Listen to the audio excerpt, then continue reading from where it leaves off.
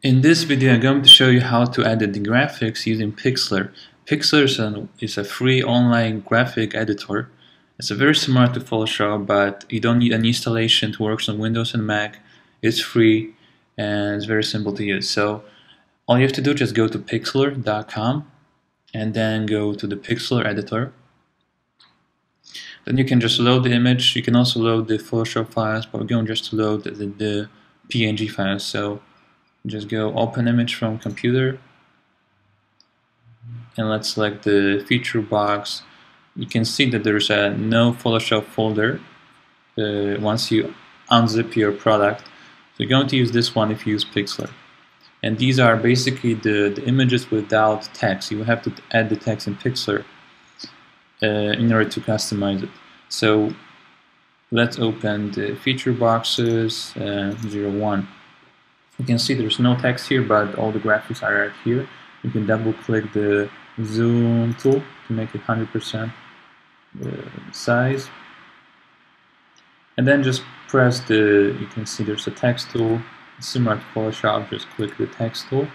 And then you can select where you can, where you can place the text. For example, right, right here, you can top features. You can change the color of it.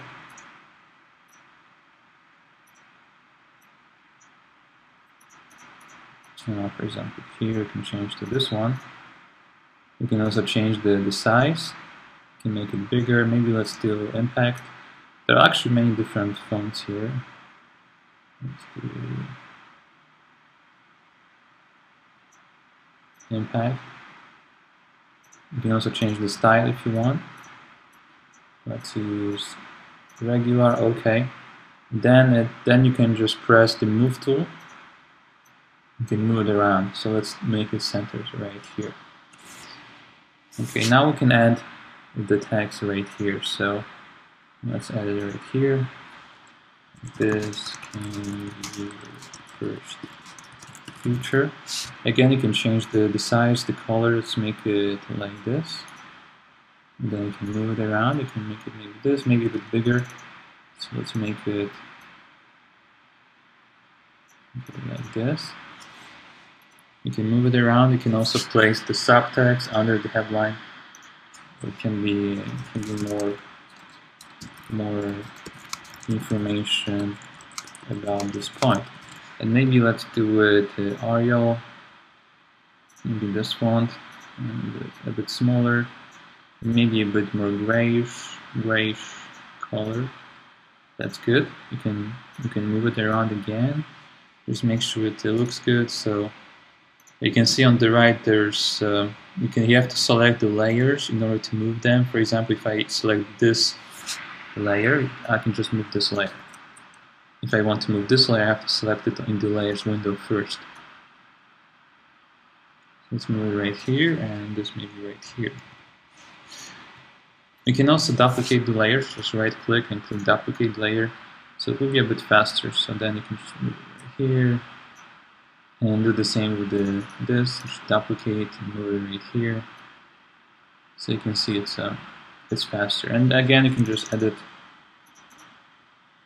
just select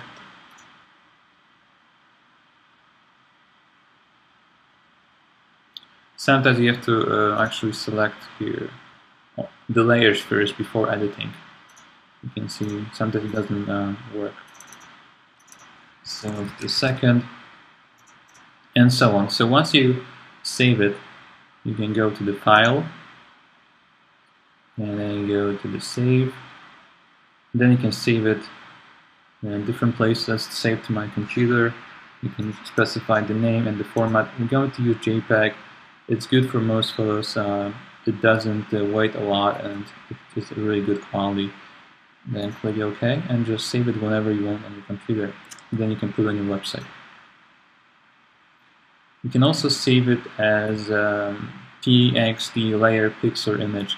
This is very useful if you want to change maybe the text later so I advise you to, to save always as a JPEG and the PXD format. So whenever you want to change the graphic you can just load in Pixlr and change it. If you want to do that, then you have to add the text one more time. and it takes time. So it's better to save as a both formats. Okay, so let's do another example. Let's go here. Actually, let's go here. Go to file, new image.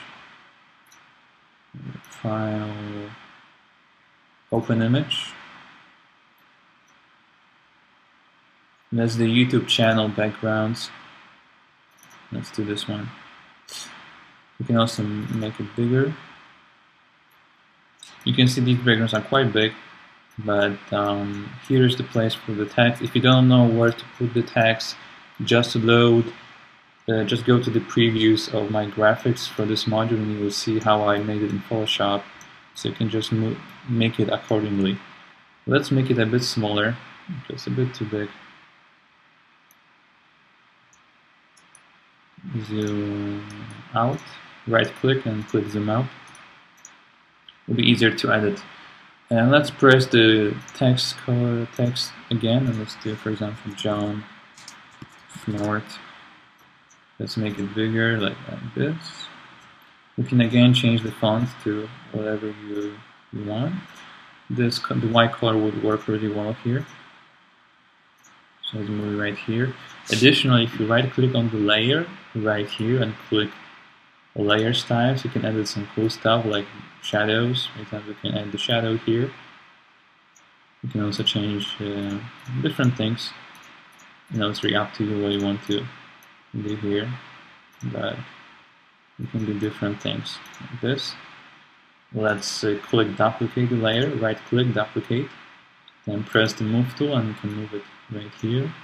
Then press the text tool, select it, maybe digital digital marketing expert.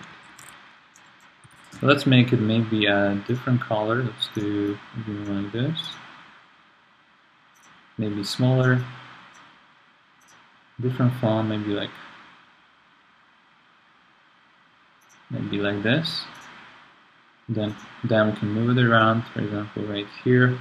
Make it center, we can also uh, move this and this one a bit down to make it centered. And that's pretty much it. So all you have to do now is just go and save the file, and that's pretty much it. Let's do another uh, another example.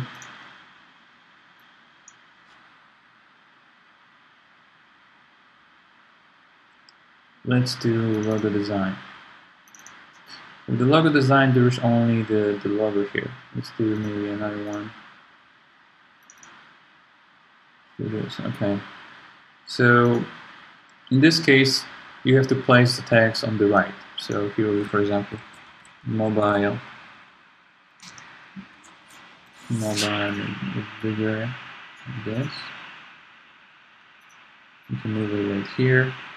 And let's duplicate this layer.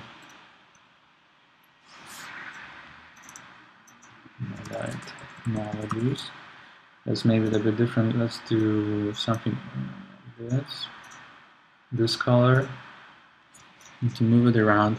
So that's your logo. You can also select this layer. You can also move it around if you want to have it in a different way.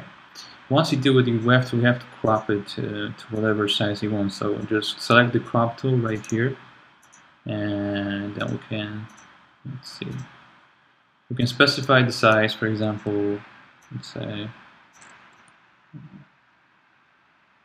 let's do maybe just no restrictions. You can just select this. Double click and it's done. So that's how you can change it. You can also click image size right here. You can make it smaller if you want. For example 300 pixels to make it smaller. It seems it messed a bit the text, so we have to change the, the text size a bit. Just make it a bit smaller.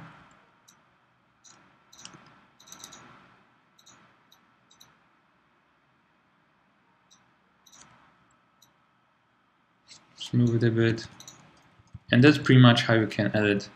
You can see, you can edit most of the graphics uh, without Photoshop all you have to do just you have to just edit just add the text layer in Pixlr just move it a bit and then you can save it and it's very similar to Photoshop